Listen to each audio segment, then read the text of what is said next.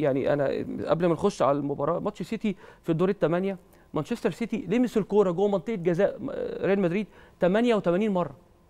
يعني متخيلة ال one side game وفي نفس آخر المباراة انتهت المباراة ركلات الترجيح وريال مدريد كسب. وهكذا ماتش البايرن ميونخ في semi final ريال مدريد يعني ما كانش أفضل شيء في الماتشين. وفي الشوط الثاني بصفة خاصة في الماتش العودة وريال مدريد في خمس دقائق كسب وكان تصريح شهير لتوماس توخيل. قال لك أنا يعني يعني اللي يشوف ريال مدريد يعني مثلا سي في الدقيقة 40 ما يشوفوش في الدقيقة 42 يعني دقيقتين ثلاثة بيقلب النتيجة. فكل الأمور دي أنا شايفها خارج إطار التحليل الفني. مم. خلينا برضو صراحة مع لكن بعض. هي مش خارج إطار التوقعات. خارج ما هو خارج مش إطار خارج التو... لا خارج إحنا إطار- عارفين ان هو يعمل كده. ما بالظبط هي آه. دي النقطة. أنت مستني. يعني عارف أنت فيلم ال- يخلص يلا إنجز. مش كده كده جبت جول أو دخل في جول ريال مدريد. عارفين الشوط الثاني أو بقى؟ كمان خل... آه ننجز. آه. يعني إيه؟ هات النهاية بقى. إيه؟ يعني إيه؟ سبرنا واتفرجنا وشفنا. إحصاءات الشوط الأول يعني لو دخلنا است- باستفاضة أكتر آه، دورتموند مضيع فرصتين محققتين. فرصتين جول.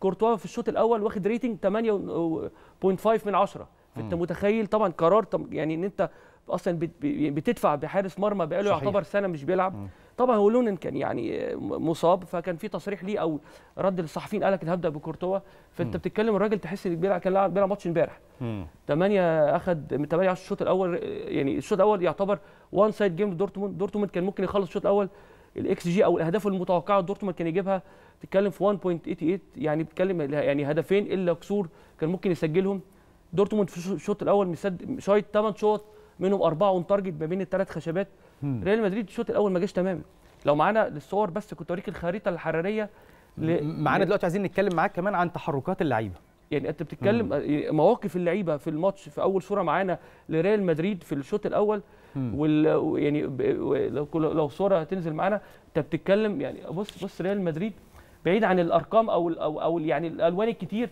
باختصار شديد مرمى ريال مدريد هو اللي على الشمال اللي فيه نقط كتير مم. فأنت متخيل دي كل دي محاولات على ريال مدريد على ريال مدريد بص بقى ده مرمى دورتموند اللي ما فيهوش غير محاولتين واحدة بال orange اللي هو اللون ال orange واللون اللبني مم. عشان الألوان الكتير هنا ريال مدريد مش موجود الشوط. الأول أصلا الشوط الأول تحس ريال مدريد كان بيتفرج. على الماتش مم. زيه زينا الشوط الأول مم. فبتتكلم آه، دي كل دي إلى جانب بقى اللون اللبني الفاتح شوية ده كل دي تشتيتات يعني لعيبة ريال مدريد من كتر ما هي مضغوطة عليها مش عارفة تتصرف بالكورة عمالة باصات بتطلع غلط. عاوز أقول لك بقى حاجة أكتر وهنتكلم بقى برضه استفاضة عشان نديله حق توني كروس قبل ما نخش على صور توني كروس. معظم الأزرق ده اللي هو باختصار شديد بالبلدي كده بياخد الكورة التمريرات الصح.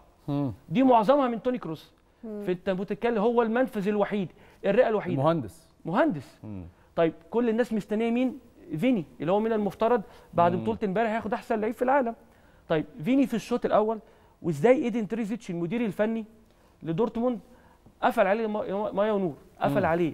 في خريطة التمريرات لفيني هتك... يعني لو تطلع معانا برضو بتتكلم الراجل عمل طبعا أربع مراوغات من ثمانيه في الشوط الأول. دي خلي بالك ده رقم بالنسبة له دي الخريطة. دي الخريطة. دي تحركات تحركات أو الخريطة جيم. التمريرية لريال مدريد. يعني بص الخط الرفيع ده لفيني رقم سبعة. كل ما الخط بيقل فيني ده على آخر الشاشة تحت على الشمال. مم. كل ما الخط بيقل طول باختصار شديد اللي هو الكورة بتوصل له قليل جدا. فانت الراجل إيدين ترزيتش عارف ده رقم واحد مفتاح اللعب. مم. يعني الراجل كان بيرمي عليه ثلاث لعيبة ال back right ريرسون عشان يقفلوا عليه. تتكلم على إيمري جان اللي هو وسانشو الجناح اليمين. تتكلم على ماتس هوملز ال centre back دايما يغطي في ظهرهم. بص الراجل تمريراته أو يعني الكورة وصلته قليل جدا جدا. مم. مين بقى بص الأكتر يعني سمك في التمريرات؟ رقم 8 توني كروس. مم. في عز ما انت مخنوق ريال مدريد ده الشوط الأول. في عز ما ريال مدريد مخنوق هو المنفذ الوحيد توني كروس. كل الأمور دي بتأكد إن الشوط الأول ملوش علاقة تماما بالشوط الثاني آخر حاجة قبل ما نستفيد في ال- في الشوط الثاني إيدين ترزيتش كان عارف إن في مش ثغرة بس جزئية ريال مدريد مش يعني مدي أنشيلوتي يقول لك بيسيب الارتجال للعيبة. يعني إيه كلمة ارتجال الارتجال دي مش حاجة مش حاجة سيئة.